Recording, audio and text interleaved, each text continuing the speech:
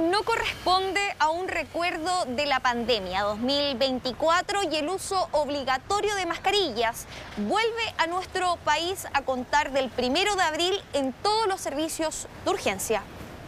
A partir de este lunes, todos quienes ingresen a alguna urgencia del país deberán hacerlo con mascarillas. Sí, esa que había dejado guardada de la pandemia tendrá que volver a usarla. Esto en el marco de la nueva alerta sanitaria declarada por el Ministerio de Salud. Este año decidimos que en realidad había sido un buen aprendizaje haber tenido la alerta ya establecida, por lo tanto decidimos tener la alerta preventiva. También eso nos permite eh, dar la obligatoriedad, por ejemplo, al uso de mascarillas, pero por supuesto que eso, dependiendo de la situación epidemiológica, se puede levantar antes. La circulación viral de enfermedades respiratorias. Durante el 2023, varios servicios de urgencia colapsaron. Los grupos de riesgos más afectados fueron los adultos mayores y menores de edad. Las consultas por estos cuadros aumentaron un 9,5% en comparación al año pasado, lo que hace prever que será un invierno complejo. Para mí es muy importante porque tengo esta bebé y mi prioridad es que ella esté bien. Me parece muy bien porque tengo entendido que volvió el tema respiratorio, hay muchos niños, hay muchos virus. Es un cuidado para las personas. Yo no lo contagio a usted y usted no lo contagia a mí.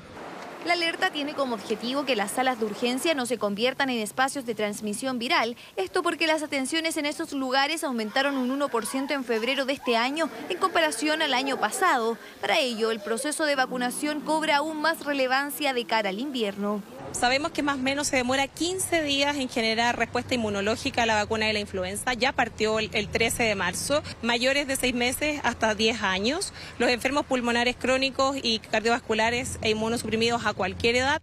Grupos de riesgo que suman a los recién nacidos hasta seis meses que se inmunizarán contra el virus incisional por primera vez con la nueva vacuna aterrizada en territorio nacional. Es una buena medida reinstalar el uso obligatorio de mascarilla en los sitios donde se atienden pacientes con infecciones agudas, servicios de urgencia y otras unidades porque esta es una medida que ha demostrado ser muy efectiva para disminuir el riesgo de transmitir y de adquirir virus respiratorios.